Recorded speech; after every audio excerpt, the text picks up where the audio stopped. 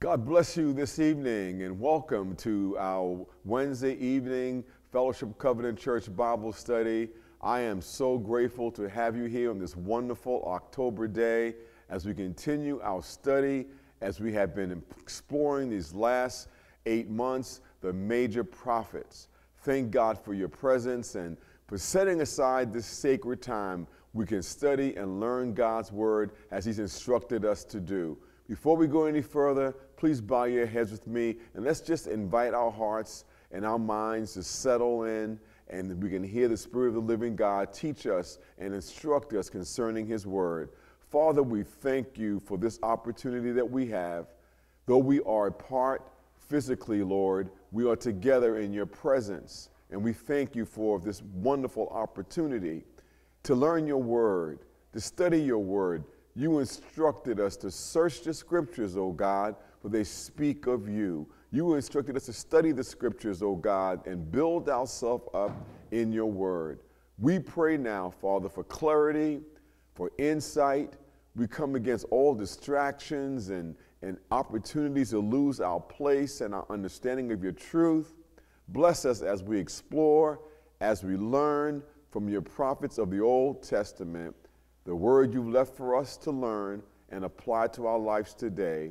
And we thank you and bless your holy name for this wonderful opportunity, Father, and blessing. In Jesus' name we pray. Amen. Amen. It's a wonderful thing to share God's word. We are so glad you chose to tune in this evening with us. We welcome you. My name is Elder James Dennis, and our pastor, Reverend Dr. Kanye Ray Eaton, along with our entire community, welcome you wherever you are to be a part as we learn more about our major prophets. So, what's in a name? What's the significance of someone's name? In our culture, as I said last week, many times we just inherit names juniors and seniors and the third and the fourth, basically carrying on traditions which is beautiful as well. But we learn as we study the Word of God in the Old Testament, most of the names in the Old Testament are always associated with, they mean something. Their names have a meaning to them. Now, we've been studying Ezekiel since our minister Marianne Patterson began this journey with us the first part of September. We are now on our lesson six. And we've talked about Ezekiel now, and we've seen some of his mannerisms, and we've learned the historical component of where he showed up. What's the context of Ezekiel? The name in Hebrew is spelled Y E H E Z Q U E, and it represents, and there's two schools of thought in biblical studies. One, his parents gave him the name Ezekiel, and in doing so, were they affirming him or were was it an appeal? Reason why that's always been a debate is because Ezekiel is a prophet who prophesied his entire time of his life. He prophesied his whole book. He did it in exile. So, prior to him being in exile, there was a king named Josiah who really came to reform Israel or Judah and get them off the path they were headed to for destruction. But he was killed. And then Ezekiel was born. And what his parents naming him as a sign that God's going to work things out? Or was it a sign crying out, God, give us faith to go through? We need strength. So many people are not sure on just what the name, what the context of the name is. We know what was going on historically. What was it an appeal? God strengthen us, or was it was it an affirmation saying God strengthens, we're able to go through what's in front of us. Either way, it's an interesting thought, an interesting debate, but the name Ezekiel, for our purposes tonight, will be the God strengthens. But there's also another name of Ezekiel that we're going to talk about a little bit.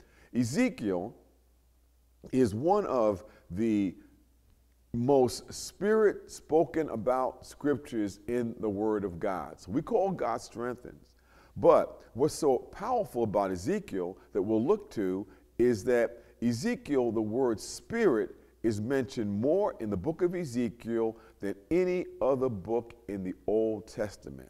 You got that right.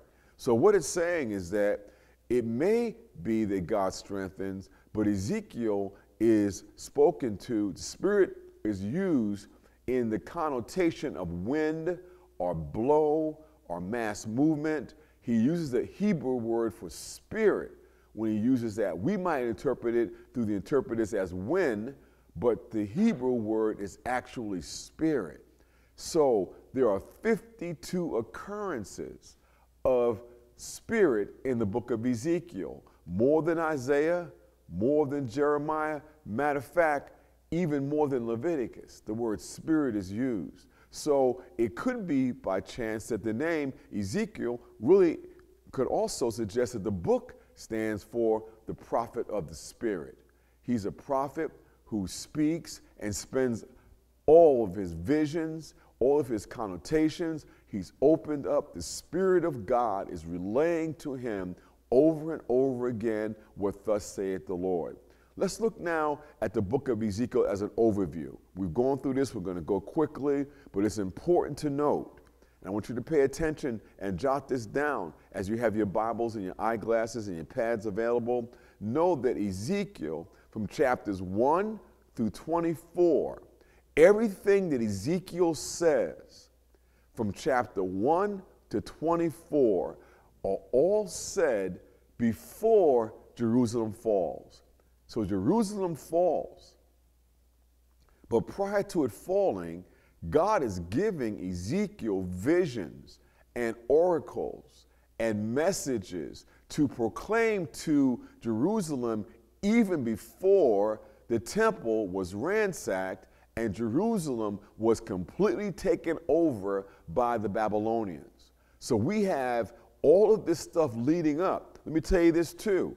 Ezekiel's exile to Babylon. We've been studying that for the last four or five weeks. He's at the river Chebar. While he is there, he begins to prophesy, but after being there for seven years.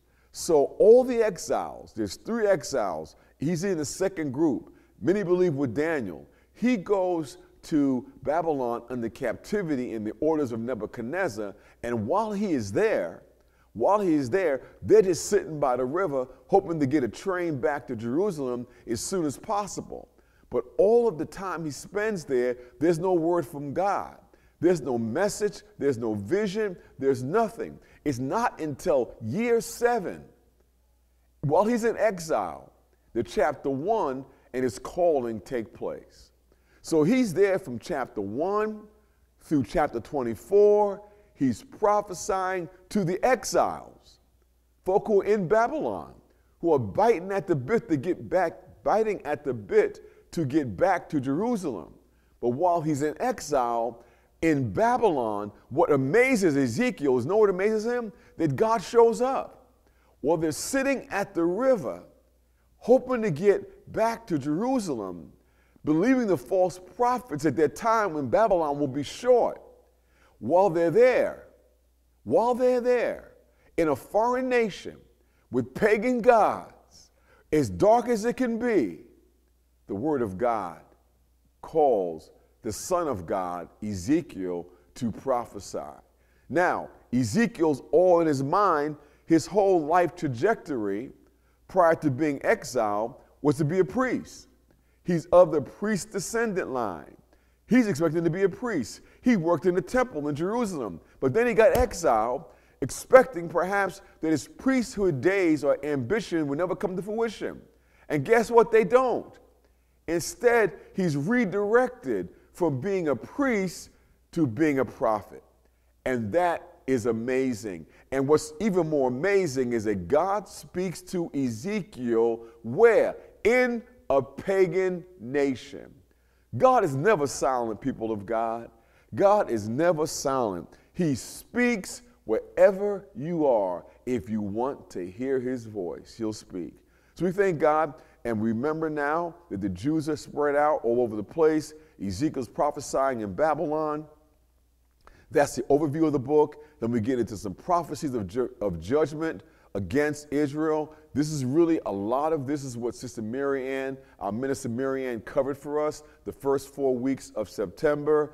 Prophecies, judgment against Israel, judgment against Israel. Then, chapter 25, which we're going to touch on tonight, through 32 really take a break from the judgments of, of the judgments of Israel to what? To the judgments and the messages and the oracles to the foreign nations. The nations get a message now. And then it ends from 33 to 48, it ends with a proclamation of hope. But let me just say this real quick before, let's not forget this. What's important is this. This is amazing. He's prophesying to the nations. He's already proclaimed what the judgment will be against Israel. So the nations, Israel, all get their judgment. All of them get what's going to happen to them. And isn't it amazing? All of this takes place. All of this takes place just about before Jerusalem falls. Now, here's what's amazing. Right at the end of chapter 32, chapter 33, it's about 586 BC, and guess what happens at the beginning of chapter 33? You got it. Jerusalem falls. Falls. Now, Jerusalem is destroyed. The temple, God's glory, everything in Jerusalem is left in devastation. And that's when he begins the proclamation of hope. Isn't God great? Isn't God absolutely amazing? He begins to share the hope after it looks as dismal as it can be, after it looks like there's no sight of relief. Then Ezekiel gets a word from the Lord to proclaim hope that they're coming back. He's already taken care the judgment on Israel. They're going to go and Jerusalem will be destroyed the message to the nations, they'll be punished as well. After all the punishments have been, been communicated, then Jerusalem falls, and then the prophet is given a vision saying, There's hope. God is, it's never too late. It is never over. We sang a song this past Sunday. Hopefully, you were with us. We sang a wonderful song that Jesus has never lost a battle. This battle that we're going through, whatever you're going through, know this He's never lost a battle. So, looking at this overview of the book of Ezekiel, we want to spend a minute or two just in the foreign nations. And before we get to the foreign nations, I want to explain something to you. The question comes down if the foreign nations are not God's chosen people, why does he even bother with them? Why does he spend any time messages and oracles and judgments on the foreign nations? Why would he do that? Well, the reason why God does that, oh no, do me a favor, get your Bibles out. Wherever you are right now, grab a Bible. I'm not going to put this slide up. We're going to stay right there on the screens, but looking at me, look at Ezekiel chapter 28, wherever you are. Get your glasses if you need them, all right? Look at Ezekiel 28 and look at what it says in verse 24. Ezekiel 28, verse 24. Read that with me as I read it aloud. And for the house of Israel, there shall be no more a briar to prick or a thorn to hurt them among all their neighbors who have treated them with contempt. Then they will know that I am the Lord. That's Ezekiel 28. Look at what it says in 25. 28 and 25 now. Thus says the Lord God, when I gather the house of Israel from the peoples among whom they are scattered, and manifest my holiness in them in the sight of the nations, then they shall dwell in their own land that I gave to my servant Jacob, and they shall dwell securely in it. They shall build houses, plant vineyards, they shall dwell securely. When I execute judgments upon all their neighbors who have treated them with contempt. Then they will know that I am the Lord their God. Listen, to, circle that text in your Bible. Here's what he's saying. This is so fabulous. This is why we're in the library today to understand what's going on with all these oracles that Ezekiel's been proclaiming. And why would God judge the nations? The nations aren't part of the covenant. They're not part of Abraham's chosen nation. They're not part of the promise. But why would he judge them? Because they're enemies to Israel.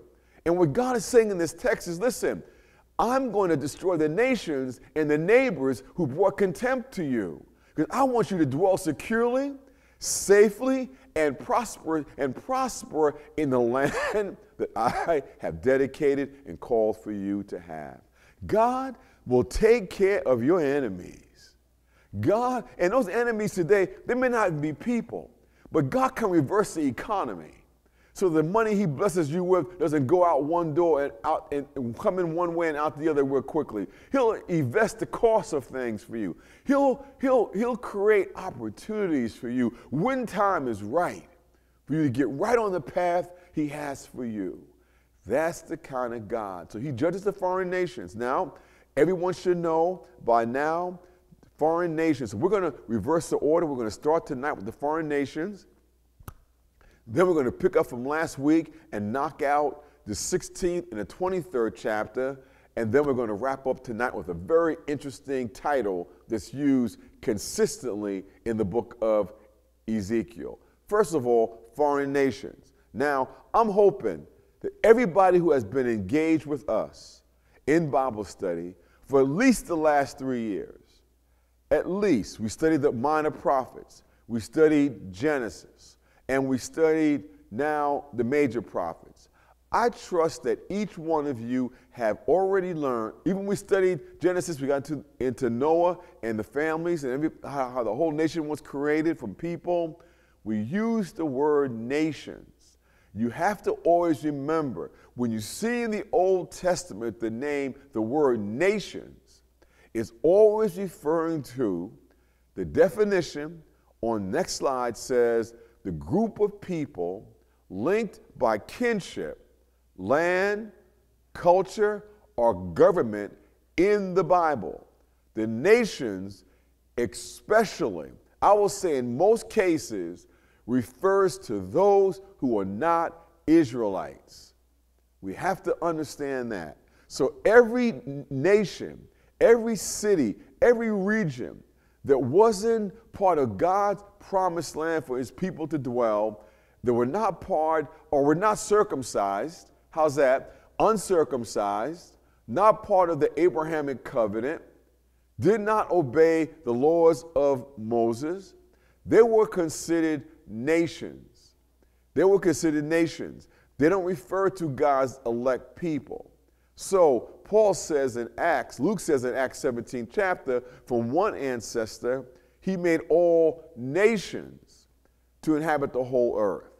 He allotted the times of their existence and the boundaries of the places where they would live, so that they would search for God and perhaps grope for him and find him, though indeed he's not far from each one of us. So well, the nations were not a part of the chosen people that he promised Abraham. He still put these people into groups by their culture, by their kinship, by their land. They formed, they formed nations from Philistia, Ammon, Tyre, Egypt. They're all people. And what he put in their hearts was a desire someday to grope, to desire to pursue him. Now, many of them replaced that desire with pagan gods, with false worship. But the ultimate goal is that God's going to draw them into. You and I, non Jewish believers, are considered having been Gentiles. But now in Christ, Jew nor Gentile, male nor free, bond nor free, male nor female, bond nor free are all one in Christ Jesus. So we want to understand that. But anyway, we talked about chapters 25 through 32 are all the oracles against the nations. Now, looking at our next slide, we're going to learn now again. We've talked about this in Isaiah. What is an oracle? We pull a library book off the shelf and we see an oracle is a communication from God. Both a, in some cases, it's a response to a question that people have. Remember in Habakkuk, when he was wondering why things going the way they are? And all of a sudden, he got a word from God. He got an oracle, a message to proclaim about even if there's no sheep in the stall, even if there's no, there's no fruit on the vine, yet praise God. He got a response to his agony. An oracle is a response to a question, or as we've seen so far in Ezekiel, an oracle is also a pronouncement, a pronouncement made by God without his being even asked. I'm bringing judgment on these people. Those are oracles.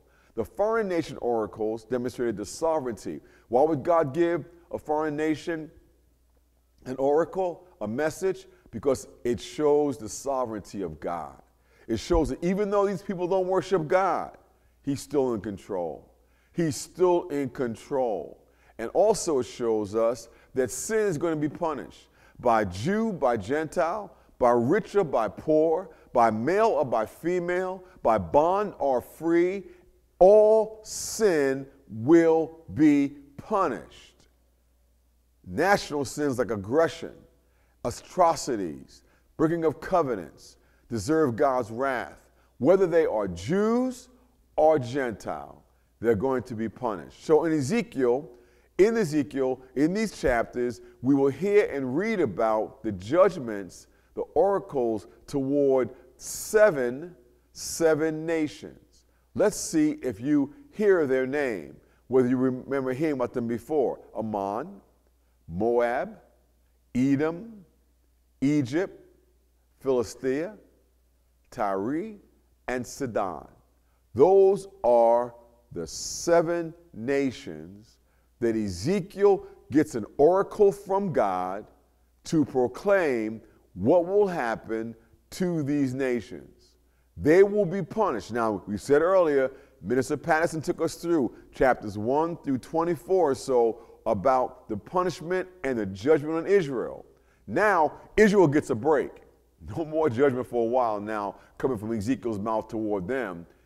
But word comes to Ezekiel from God about the judgments that are going to come on the nations, the foreign, the foreign nations, the pagan, the Gentiles who do not honor God. But because God's sovereign and because they have sinned, aggression, atrocities, and they bring contempt on God's people, God says, Listen, I know what they've done. I know, the, I know the pain and agony they brought upon you. I will punish them as well.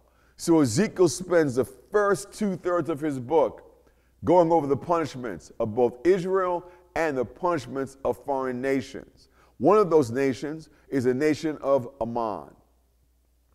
Now, I want you to pay attention. Have you noticed anything? Have you noticed that there are seven nations, big nations, Egypt, Egypt alone, if we read all of these chapters, Egypt alone, there are seven sermons, seven oracles just to Egypt, and then there's one oracle to the other seven nations.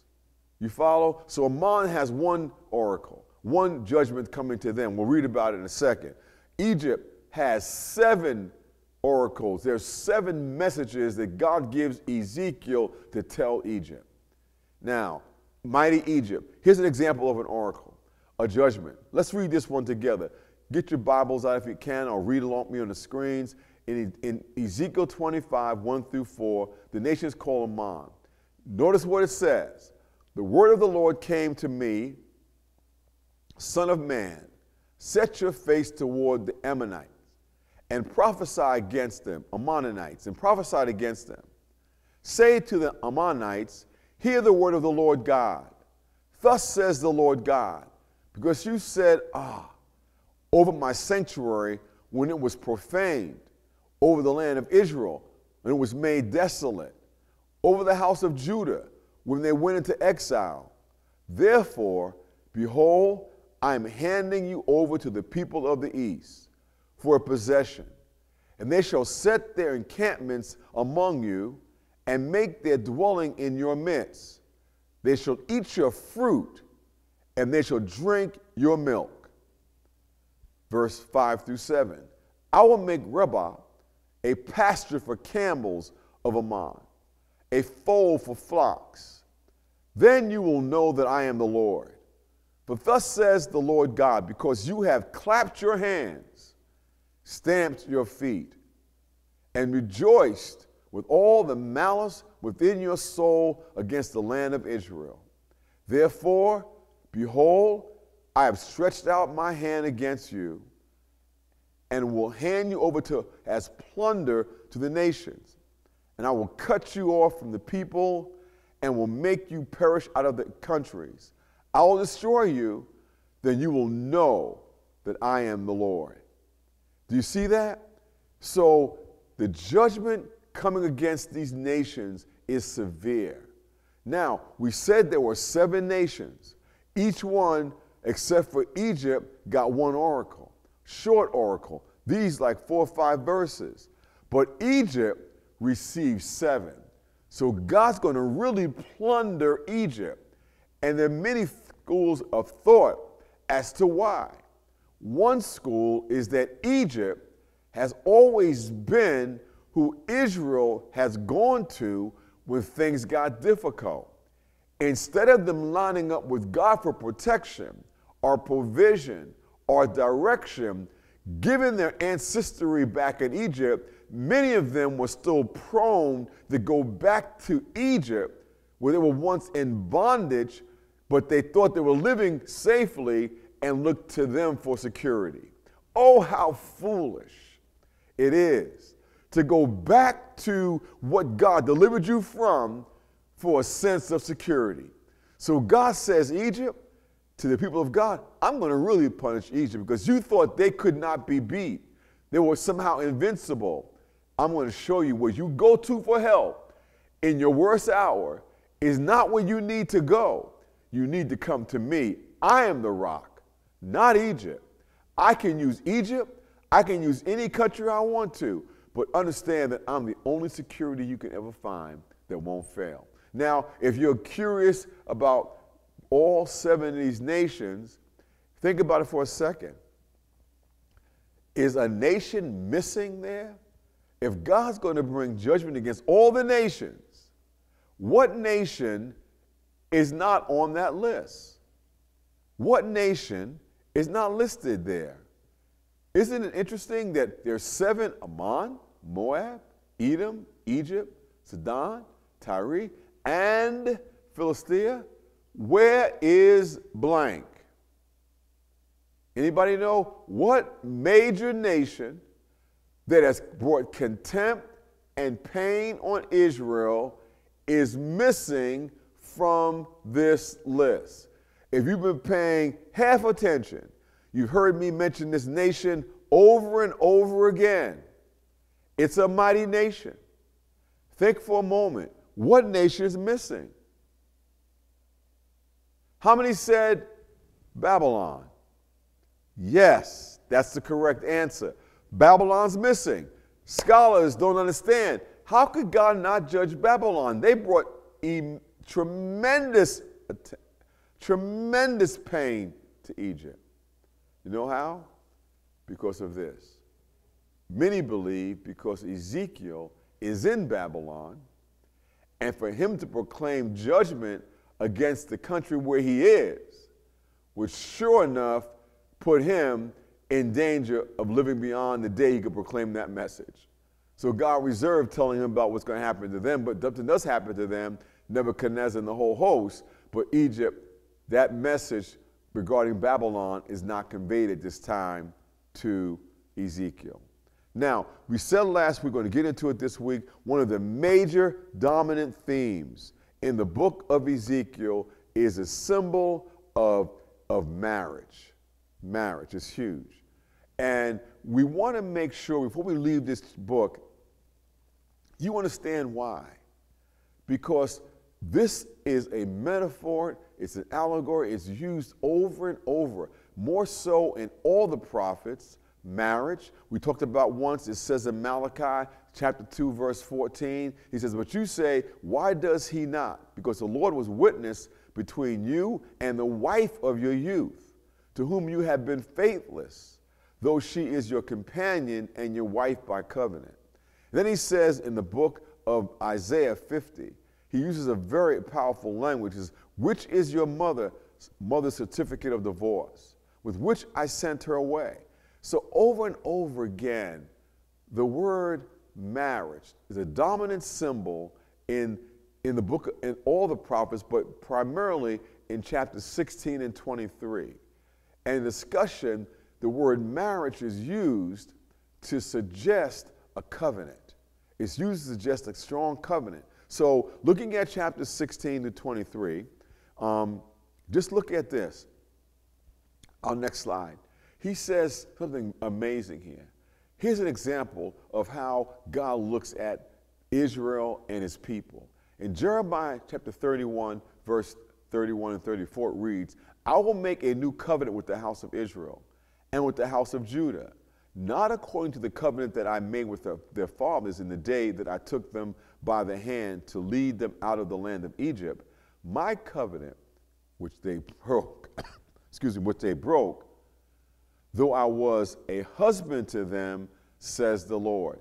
Do you see? God looked at covenant, his people, as being in a marriage with him. Covenant, husband, wife, connection, commitment, faithfulness, essential ingredients to any marriage. God uses that metaphor to suggest I'm going to be a faithful husband. I expect you to honor our covenant. Don't let anything come in between to break it because the consequences of a broken covenant is devastating. Devastating. Think about this Israel, the northern kingdom, got two kingdoms, right? The northern kingdom and the southern kingdom, which Egypt, which is what Ezekiel's prophesying primarily to. The northern kingdom has been in bondage after 290 years of being in a covenant with God, the northern kingdom spent years, years violating the covenant, violating it, violating it, breaking their, their commitment to God. And what happened? The Assyrians came, and now you don't hear about the northern kingdom in Ezekiel. Nothing, they're done. Now he's using the same vernacular over and over again covenant, marriage, husband, wife. Israel's the wife, God's the husband. And the theme around covenant is huge. Here's what you have to understand about the covenant.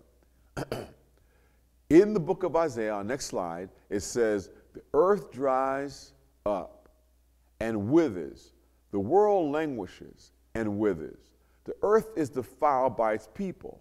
They have disobeyed the laws, violated the statutes violated the statutes, broken the everlasting covenant. Therefore, a curse consumed the earth. I want this to be so clear. Covenant in the Word of God is defined as a binding and solemn agreement made by two or more individuals. In the scriptures, the Lord made many covenants with his children. These were not only binding, contracts to keep the children of Israel in the purposes of the Lord. They were also a means of protection. Anytime a covenant is made with God, anytime, anytime, Satan will attempt to destroy the pack because he realizes that if he can, through deception, break the pact by deceiving, that by defiling the covenant, it opens the door for him to come in and destroy.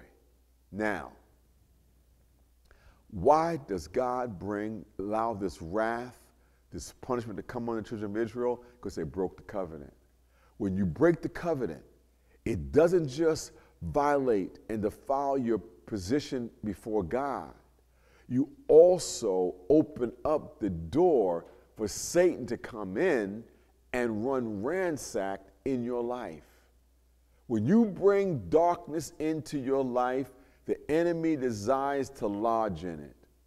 When you bring darkness, when we bring darkness into our life, we open the door. That's why Paul says in the New Testament, right? He says, What? Give no place to the devil.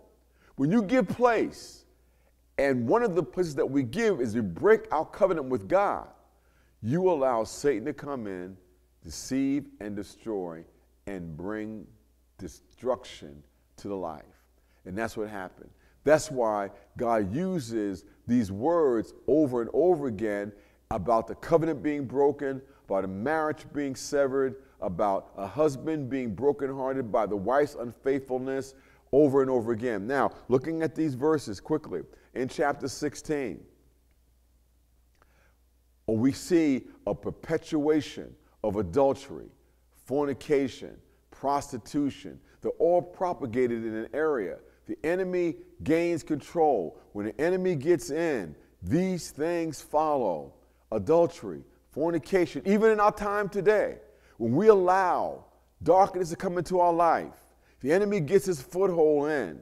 He has gained control. And this is what the land of Israel has experienced famine, floods, beasts going wild, pestilence, swords, war. Because there's been a violation of a covenant, all manner of sin can run ransack. Now, listen, if you look at our country today, they call it global warming, warming, global warming.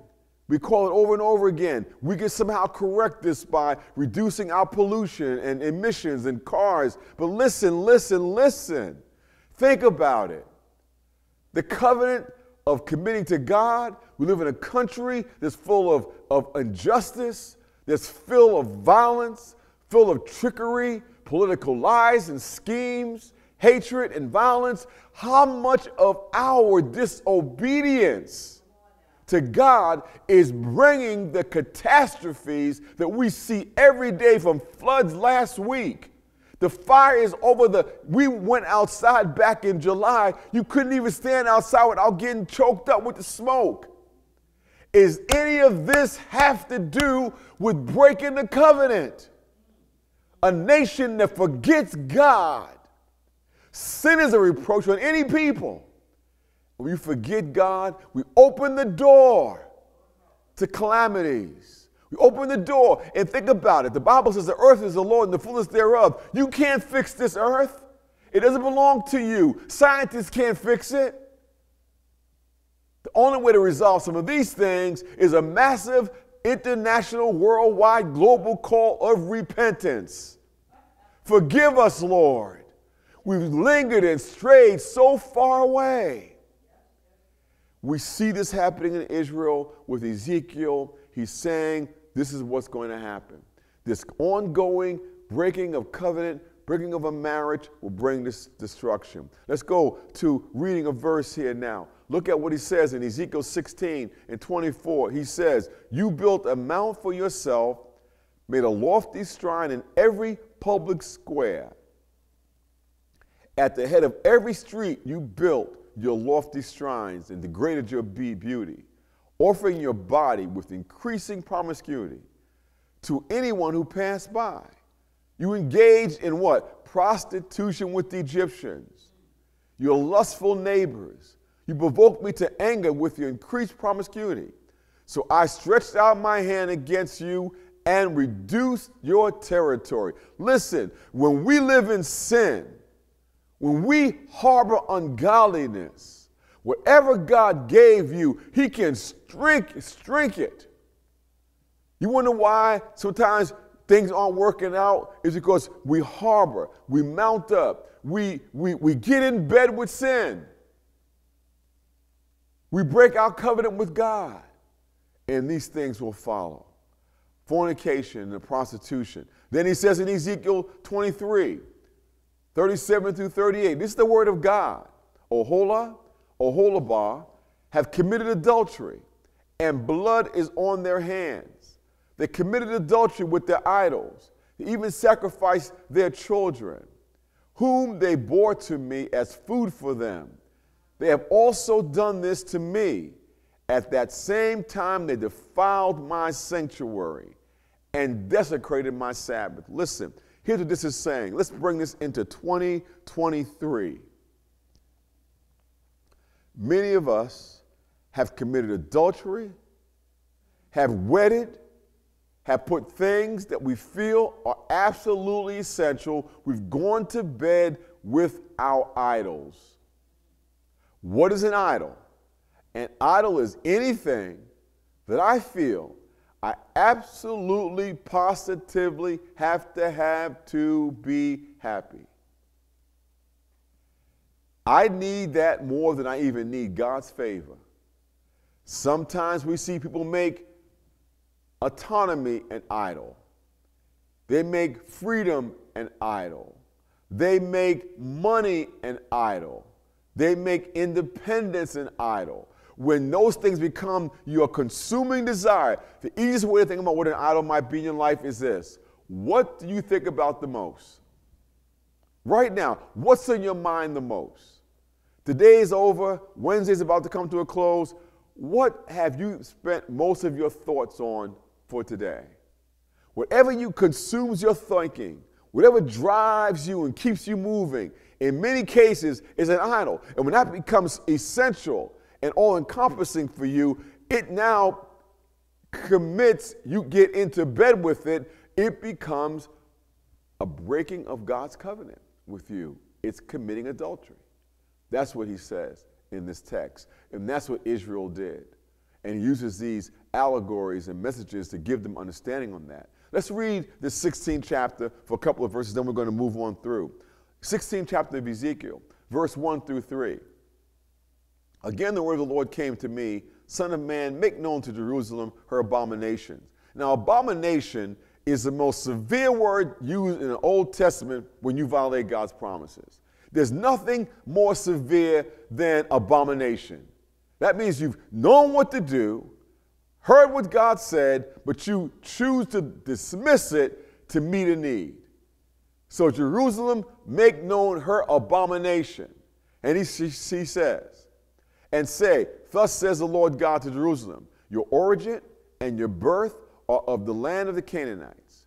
Your father was an Amorite, and your mother a Hittite.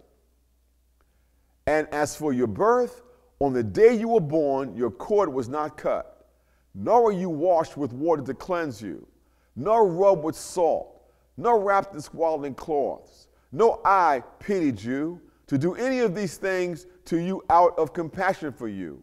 But you were cast out on the open field, for you were abhorred on the day that you were born.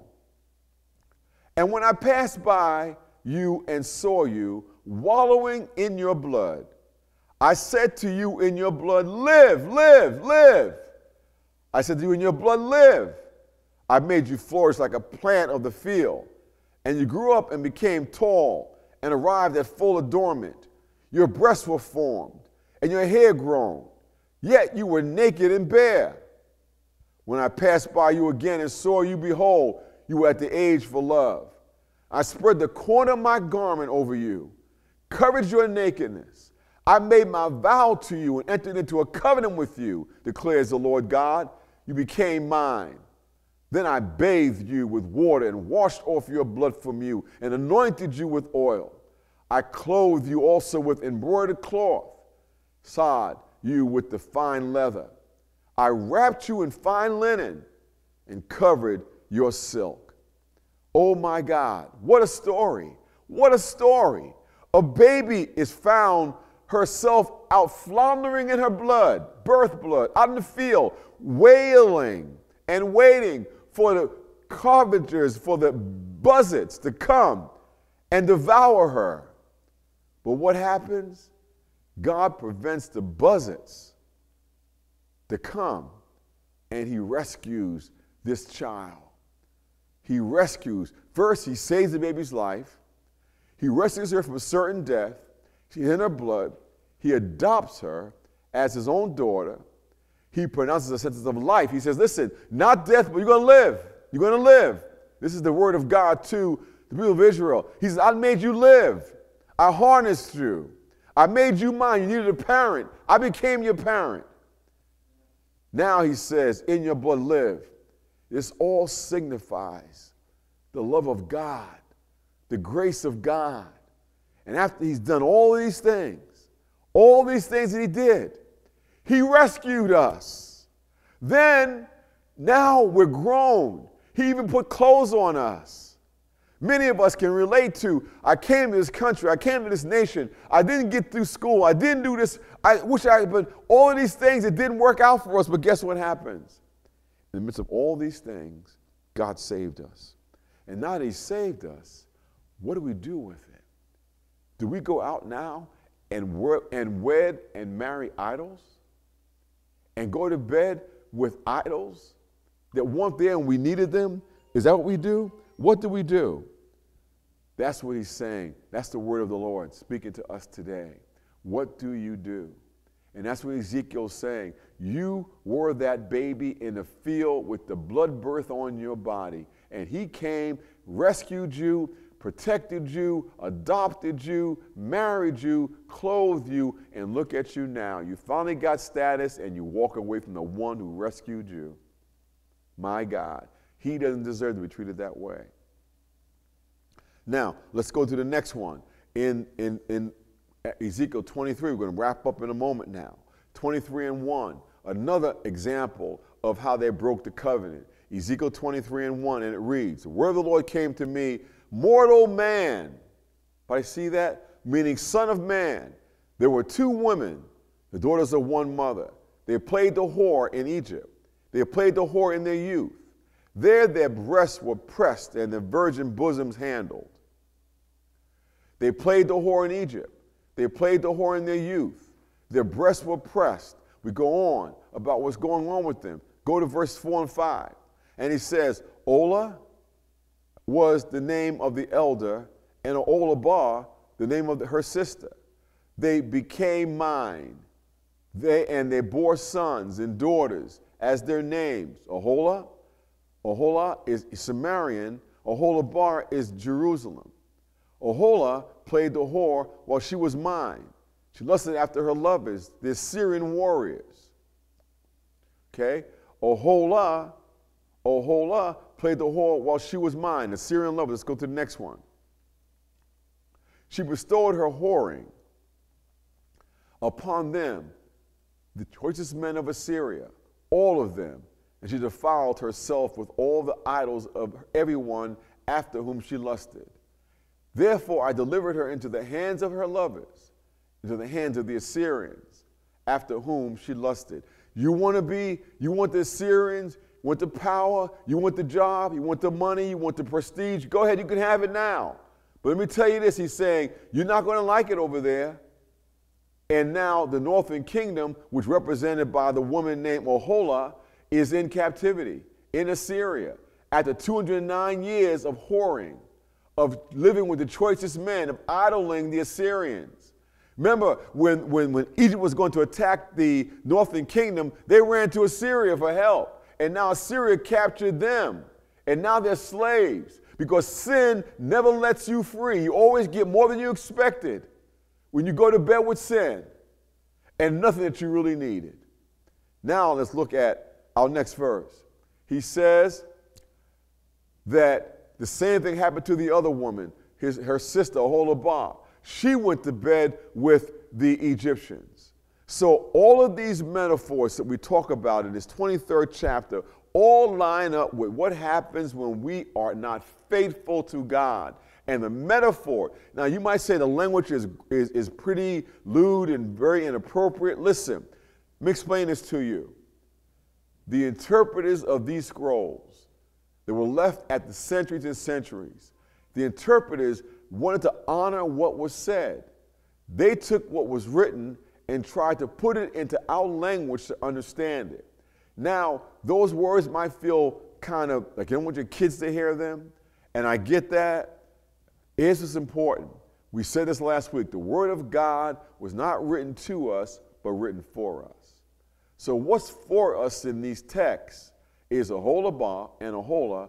Both of them represent two lead. One lusting after this, the other one yearning for that going after it more than going after God, and then living with the consequences. And the consequences are what happened to both Judah and what happened to Israel. The southern kingdom and the northern kingdom are in bondage, captivity, and their nation that they always took pride in has been devastated because of their idolatry, because of their adultery, because of their prostitution and their fornication with idol gods. That is the message. And not just the body of people get afflicted, but the land that they live in is also punished and judged. Okay? Now, last point for tonight the word Son of Man, Ezekiel. If you study over and over again the book of Ezekiel, you're going to notice something. God never, ever refers to Ezekiel as prophet or as Ezekiel. He always refers to him as Son of Man. There's a reason for that. The primary reason for that is this God realizes, go to our next slide. God realizes this. The phrase Ben, ben Adam, which is Son of Man, occurs 93 times in the book of Ezekiel. Apart from the book of Daniel, the expression occurs nowhere else in the Old Testament. The phrase highlights Ezekiel's humanity, his membership in the human race. God reminds him constantly of the class to which he belongs. His primary identification is with his audience, not with the one who sent him. Everybody, listen closely. We're going to wrap up in two seconds, two minutes. Don't go. Don't get drift. Don't, don't lose your focus. God uses the calling. He says to Ezekiel over and over again, mortal man. Look at our next slide. Over and over again. You can see all these instances. Son of man, speak. Will you judge them? Verse 4. Will you judge them, son of man? Will you judge them? Verse 27. Therefore, son of man, speak to the house of Israel. Verse 46. Son of man, set your face toward the southland. He uses the word, he uses the address. He addresses Ezekiel over and over again as son of man because he doesn't want Ezekiel to forget this. I'm opening up your mind, your heart, your eyes to deep and spiritual things. Ezekiel sees the throne of God. But I don't want you to forget something, Ezekiel. You're part of the same human race that I'm punishing. Because I'm giving you revelation, here's a reminder you too are human. And you need my grace just like all these other people who you're preaching to need grace. Don't forget that. Don't forget that. You can learn the Bible inside and out, but at the end of the day, you're still a son of man. You're still human. And what gets you through every day is not your knowledge, not your education, not your wealth, not your experience, not your ingenuity. What gets you through is one thing. Know what that is? The grace of God. We are all humans. That's why David says, What is humanity? That thou art mindful of him. Why do you even deal with what is the Son of Man? Us that you are thoughtful of us. What he re- every time you see the word Son of Man, you should pop up in your mind grace. Grace. Nothing but grace. Let's go to our giving slide. Pay close attention. We're going to come back to our research question in a moment, but there's ways to give. Listen closely, and please consider giving tonight. House with an offering. There are a variety of ways for you to give. You can give via Cash App to dollar sign FCC Finance, by PayPal to FCC Provision for the Vision at gmail.com, mail a check to Fellowship Covenant Church, give online through our website at www.fellowshipcovenant.church, or give via Zelle to FCC Provision for the Vision at gmail.com. We are so grateful for your generosity, and we thank you for your offering and gifts. Now, please stay tuned for our benediction. Okay, quickly, question for us from last week. Let's wrap this question up. Research question for Bible scholars, all of you listening. What two things did Jeremiah, Zechariah, John the Baptist, and Ezekiel have in common? Two things. What were they? If you know they are, before I give you the answer, jot it in the chat, okay? What two things did Jeremiah, Zechariah, John the Baptist, Ezekiel have in common? The answer one thing we know for a fact all of these four people were born in priestly descent, lineage. They were all on the trajectory to be priests. They were all born of the seed of being priests. Right? That's number one. John the Baptist's father in the New Testament, his name was Zacharias, right? And he was serving in the temple. When God spoke to him, he was a priest, serving in the temple. In, in the book of Luke 1 and 5, serving in the temple. All right? So that means John the Baptist was also designated to serve in the temple, like his father, right? Son of Zechariah will be serving in the temple. Ezekiel's going to be serving in the temple as a priest. Jeremiah also serving in the temple as a priest. Zechariah serving in the temple as a priest. If he follows his father's lineage, sons of. Now, that's number one. What's number two? All four of them got redirected from being what their descendant order would suggest them to be to being prophets. Jeremiah, Zechariah, John the Baptist, and Ezekiel, all four were on a trajectory to be a priest and serve in the temple, but ended up being redirected by the Holy Spirit to be prophets. Prophets. All four ended up being prophets. The last prophet of the, of the Old Testament was who? John the Baptist. God bless you tonight. I have enjoyed being with you as we wrap up lesson number six. It has just been a privilege to share these two weeks with you out of the book of Ezekiel. Hopefully you benefit from them and now you're ready to launch the final the final two weeks of Ezekiel are coming right up for next Wednesday. Be sure to be here. God bless you. It's an honor to have this opportunity to share with you tonight. Let's bow our heads and pray. Father, thank you for the gift, the privilege to share your word. We pray that your word will give us understanding. True knowledge will build us up not puff us up, but build us up. We might be vessels fit for your service, disciples who represent you of all things. Keep us now. Bless those who gave in our offering, who generously give every week to continue the furtherance of this ministry. We bless and praise you now, Father, in Jesus' name. Amen. I love you, family. Wherever you are, I look forward to seeing you again on Sunday, God's willing. You keep us in your prayers as we'll be praying for you as well. God bless you, and thank God for our media team allowing this to come to your homes. Love you. God bless you, and take care.